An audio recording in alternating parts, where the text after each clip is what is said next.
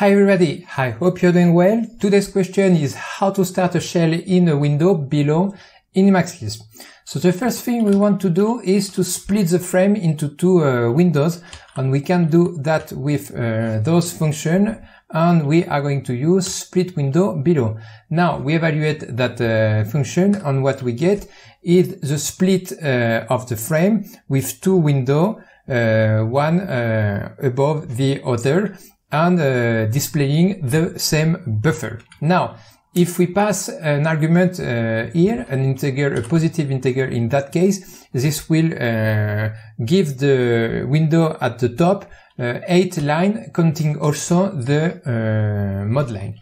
Now, if we pass it uh, a negative um, integer, this do the same, but for the window at the bottom.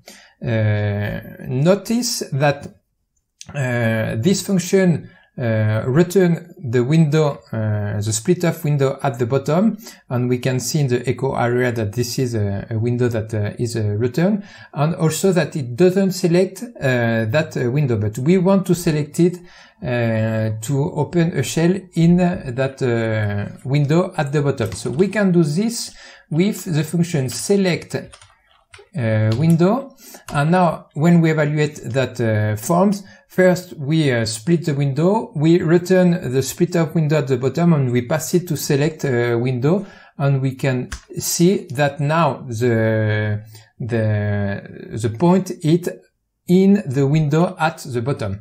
Last thing to do is to start uh, to start a shell in the window below. So we can do that uh, by using progn to uh, evaluate sequentially those expressions. So we split the window, we select it and we start a shell.